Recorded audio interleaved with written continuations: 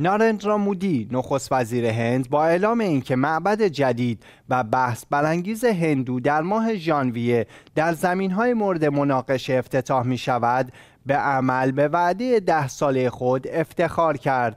اولین توصیفات دقیق از معبد رامجان هامابومی ماندیر روز پنجشنبه منتشر شد که ساختار مجلل تزئین شده را نشان می دهد که در محل مسجد بابری ساخته می شود مسجدی که توسط اوباش دست راستی هندو در سال 1992 ویران شد.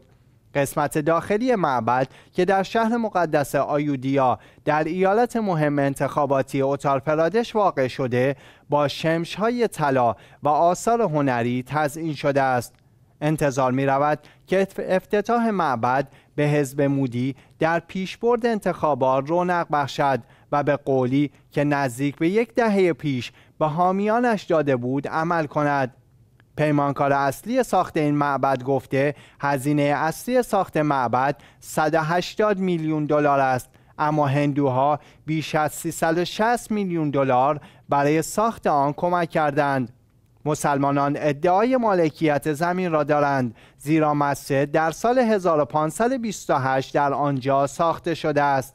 اما بسیار از هندوها معتقدند مسجد بابری بر روی ویرانه های معبد هندو ساخته شده که گفته می شود توسط بابر اولین امپراتور مغول ویران شده است.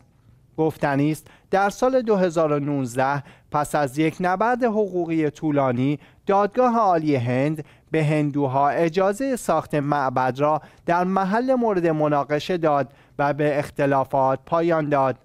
این به عنوان یک پیروزی برای مودی و حامیانش تلقی می‌شد.